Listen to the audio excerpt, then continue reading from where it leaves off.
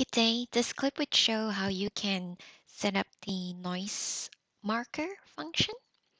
Um, on the screen here is a swept SA mode. So it's just a standard spectrum analyzer swept SA mode.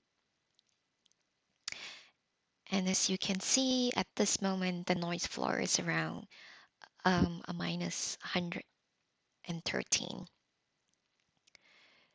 So to turn on the noise marker, you could go to marker, marker function, and under band function, you can turn on marker noise, which would um, then show the noise uh, with reference in one hertz of one hertz.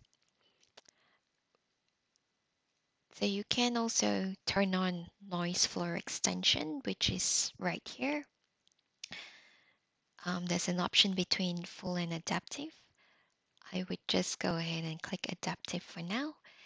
And as you can see, um, the noise floor is now extended to about a minus 169.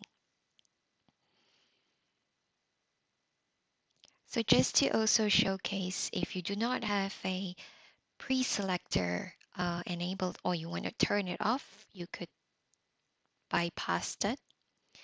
And you notice that the noise floor would bump up a little bit as well.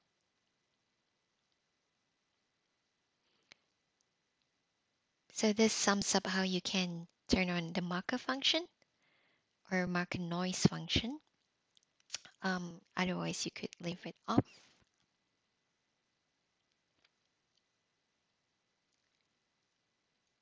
And if I go back to standard path, this is um, what you'll see. So thanks for watching.